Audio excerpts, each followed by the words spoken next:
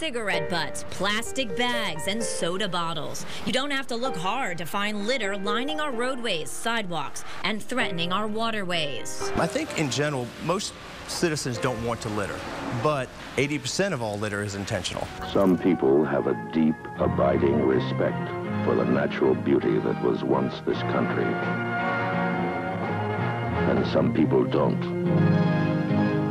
People start pollution. People can stop it.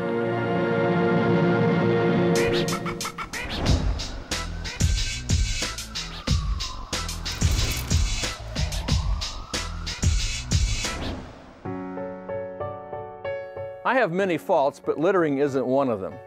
For many reasons, I've always been constitutionally unable to throw trash on the ground and walk away from it. I simply cannot do it.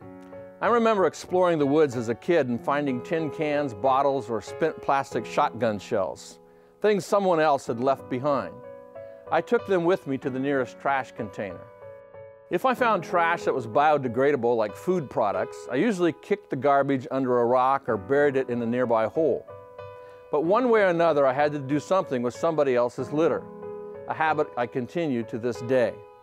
I was on the beach with my wife, and near us, I noticed a group of young people, late teens and early 20s.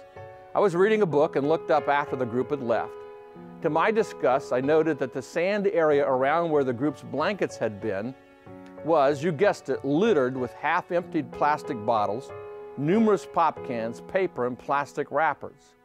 Now I ask you, why are these young people so cavalier about littering? Who failed to teach them that the environment is a delicate balance given to us by God? And how did they reach the cusp of adulthood and not learn that littering hurts us all? I believe littering is an act utterly without redeeming social value. Littering yields no positive side effects. Littering is pollution. Littering is inconsiderate, immature, and irresponsible.